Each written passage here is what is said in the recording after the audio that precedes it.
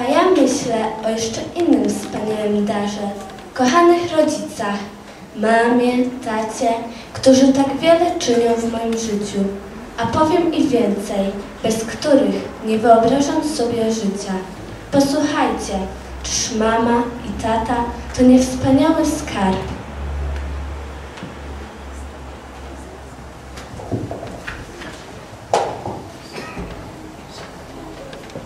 W jednym z domów mama powiedziała Jestem zmęczona, jest już późno. Idę spać. I poszła. Do kuchni, gdzie zrobiła kanapki dla dzieci na jutrzejsze śniadanie do szkoły. Wyjęła mrożonkę z lodówki. Sprawdziła, ile jest płatków, płatków owsianych w puszce. Położyła miseczki i łyżki na stole. Wodne zdjęła pewnie z susanki, a do godzinę. Sprzątnęła ze stołu pozostawioną grę i odłożyła książkę telefoniczną do szuflady.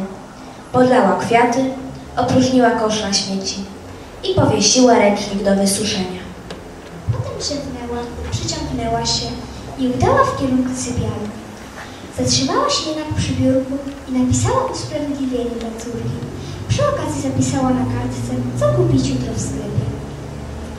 Wzięła prysznic i umyła zęby, ale przypomniała sobie i nalała psu wody do miski, wypuściła kota na dwór, zamknęła drzwi i zapaliła światło na dworze.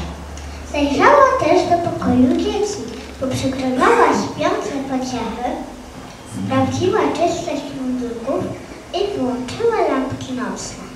W końcu dotarła do sypialni. Nastawiła budzik na 5.30.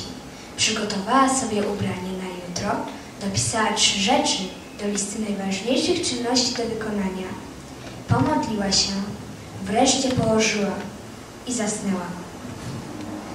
To jest wymyślona historia, ale w wielu domach jest tak na co dzień.